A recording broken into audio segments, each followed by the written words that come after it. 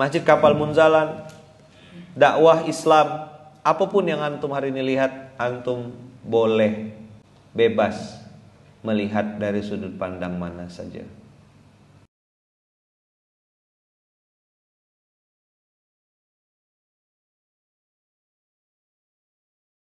Di juz 6 itu antum buka di An-Nisa 150. Innalladzina yakfuruna billah. Orang-orang yang ingkar kepada Allah itu dan rasulnya yuriduna mereka tidak sendirian. Mereka ramai. Yuriduna. Mereka mau. Berapa orang yang mau? Oh, ramai. Bisa mayoritas tidak Yaman? Mungkin bisa jadi bisa tidak ya mereka tuh berkelompok-kelompok? Bisa juga. Seperti Abu Jahal, Abu Lahab. Itu kan satu circle. Tapi kemarin dengar cerita dari Ustaz Abdul Somad bahwasanya Abu Jahal itu, eh Abu Lahab, Abu Lahab itu dapat keringanan dari Allah karena dia pernah seumur hidupnya bergembira dengan kelahiran Rasulullah. Lalu beliau membebaskan seorang budak. Nah, gara-gara itulah dia tuh di agak diringankan azab dan siksa. Tidak lepas ya, tapi agak agak diringankan. Ayyufarriqu bainallah wa rusulih wa yaquluna. Nah, ini dia abang kakak yang jadi PR kita bersama. Saya pun lagi belajar juga. Apa yang mereka inginkan? Nu'minu bi ba'din wa nakfuru bi ba'd. Inilah yang kalau dalam istilah itu saya sering sebut Islam prasmana. Apa tuh Islam prasmana Nayama? Islam yang dipilih-pilih. Ini ambek kalau sesuai dengan selera ambek tak sesuai selera tinggal. Nu'minu bi ba'din wa nakfuru bi ba'din menunjukkan bahwasanya mana syariat-syariat Islam yang sesuai dengan maunya saya, ya saya ambil. Dengan dalil realistis lah, dengan dalil inilah itulah wallahu alam bisawab. Maka ya SMK ini kan tujuannya untuk melihat ke diri sendiri. Apakah aku ini termasuk orang yang beriman dengan syariat Islam yang nu'minu bi ba'din wa nakfuru bi ba'din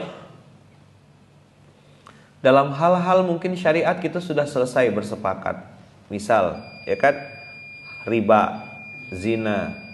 Tapi ada lagi kan bab-bab yang kita juga harus hindari, gibah, ngomongkan orang, mengadu domba orang. Itu kan bab-bab yang kecil. Kata orang. Kecil kata orang. Nu'minu bi ba'din wa nakfuru bi ba'din Muslim oportunis, ya. Dia Islam prasmanan. Muslim oportunis itu agamanya bukan Islam sebenarnya. Manusia oportunis. Apa agamanya? Agamanya untung rugi. Marginal. Kalau ada margin baru kenal. Ini yang kemarin video saya kata-kata hari ini Ayaman. Nah, itu banyak kena tinggalkan kan antum banyak dikecewakan kan banyak diomongkan orang macam-macam kan. Terus antum kecewa. Ya itu level orang kebanyakan. Video-video kayak gitu pasti viral. Karena saya mengakomodir masalah orang kebanyakan. Ya namanya sosmed ya. Tapi kalau orang beriman dia sudah tak ada urusan tuh sama omongan orang caci maki orang ditinggalkan orang. Kita kan udah biasa kena tinggalkan orang saya sudah bilang, seketika antum memutuskan untuk saya beriman kepada Allah dan Rasulnya. Bismillahirrahmanirrahim. Oh, langsung kena vonis tiga. Difonis mati, difonis penjara seumur hidup, dan bonus diasingkan. Selesai udah kita bab itu kena asingkan tuh. Kan udah biasa. Tapi percaya enggak kalau Allah tuh pasti ganti dengan yang lebih baik? Mungkin enggak antum tuh ditinggalkan Allah? Enggak mungkin. Nah, tapi karena manusia lebih besar, ahabba ilaikum minallah wa rasulih 924 itu 8 Tuhan palsu, maka masalah dengan manusia terasa lebih besar ketimbang masalah sama Allah. Padahal kalau mau hitung-hitungan abang kakak, kan ngeri ya kalau kita tuh bagus di mata manusia tapi jelek di mata Allah. Penilaian makhluk itu objektif, abstrak dan temporer. Coba diulang.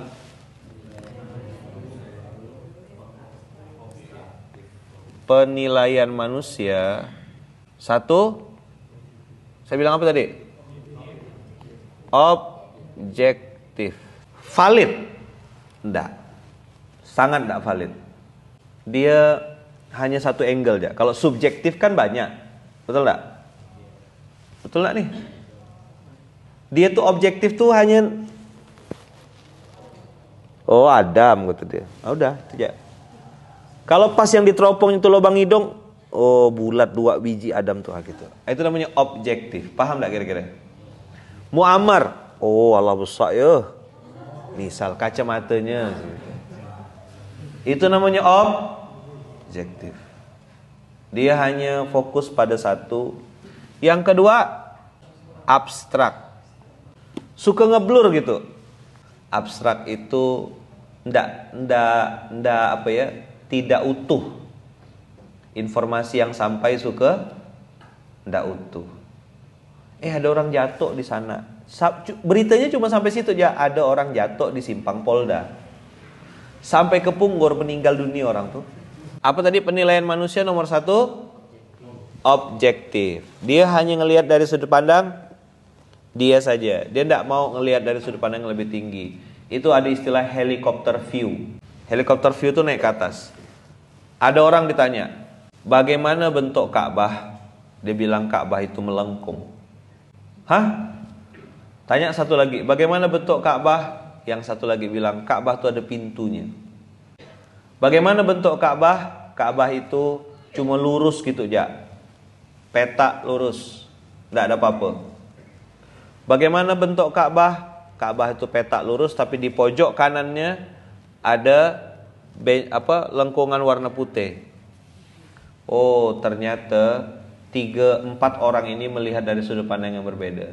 Yang pertama dia bilang Ka'bah itu melengkung. Dia melihat dari sudut pandang Hijri Ismail. Begitu ditanya orang pertama menjawab dia bilang Ka'bah itu melengkung karena dari sudut pandang ini.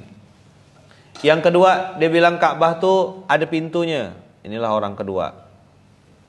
Yang ketiga dia bilang Ka'bah itu lurus ya. Dari sini dia ngelihat. Begitu tanya lagi, gimana Ka'bah? Dinding lurus tapi di pojoknya ada putih-putihnya. Dari sini dia melihat. Sekarang Munzalan, Masjid Kapal Munzalan, dakwah Islam, apa pun yang antum hari ini lihat, antum boleh bebas melihat dari sudut pandang mana saja. Jadi memang dia ngelihatnya tuh ya macam-macam gitu. Suka-suka dia aja. Ada yang dari sebelah sana, ada yang lagi di sebelah sana, ada yang lagi di sebelah sana, ada yang lepas sini. Ya tidak bisa kita nentukan. Kau harus lihat dari satu sudut pandang gitu. Tidak bisa. Dia tengok dari angle yang berbeda-beda gitu. Dan dia menyimpulkan pun dengan kesimpulan yang dia mau. Pakai persepsi. Dan objektif ini objektif menurut dia gitu saya ini udah fair kok melihat ini gitu. Saya ini benar kok gitu loh. Tapi kalau pakai drone kira-kira ngelihatnya beda enggak? Yang tadi si paling merasa ngelihat ini dengan angle yang benar, kira-kira kalau pakai dia terbang pakai drone jadi malu enggak? Aku udah paling objektif menilai ini, kata dia. Maksud saya objektif ini bukan kan saya paham, muka itu kan kayak tidak terima gitu. Subjektif kiai, Subjektif itu kan apa subjektif? Mana subjektif? Pandangan sepihak kan. Kalau objektif keseluruhan. Nah, yang saya maksud adalah iya paham saya, paham.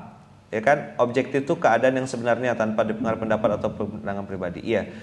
Orang itu ngelihat dari angle yang beda-beda semuanya. Dan dia menganggap, jadi gini. Ah, biar biar ndak ndak ini ya. Self claim Ah, dah. Paham tidak maksud saya? Objektivitasnya itu adalah self claim. Itu yang saya maksud. Nih, nih, nih, nih. Lihat, lihat, lihat, lihat. Apakah kita sudah benar-benar objektif melihat ini? Ya tidak tahu objektif menurut siapa gitu loh. Saya ini objektif loh. Ketemu da antum sama orang yang melakukan kesalahan tapi dia mengatakan dia benar. Ada kan? Nah, maka saya bilang manusia itu cenderung self claim. Saya kan belum selesai jelaskannya. Saya kasih ilustrasi tadi nih. Nih, Ka'bah. Aku nih paling objektif. Inilah yang tadi disebutkan Allah di Quran, nu'minu bi ba'din wa nakfuru bi ba'din. Dia merasa Islam tuh ya begini, aku harus pilih ini ambil, ini ambil, ini ambil. Apakah orang yang melihat Hijr Ismail itu salah? Apakah orang yang melihat Hajar Aswad itu salah? Apakah orang yang melihat dari rukun Yamani salah? Tidak juga. Dia sedang lihat Ka'bah. Sekarang coba nih, wakil pengasuh ada banyak di pondok ini. Coba saya suruh mereka jelaskan apa itu Masjid Kapal Munzalan. Saya yakin jawabannya beda-beda.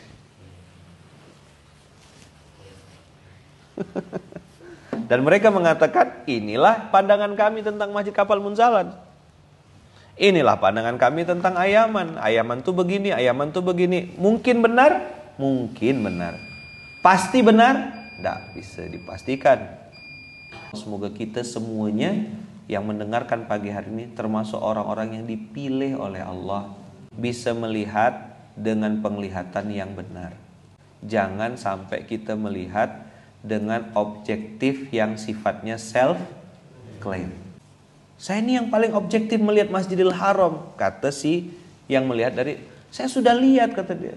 Ini Masjidil Haram apa? E, Ka'bah itu yang melengkung.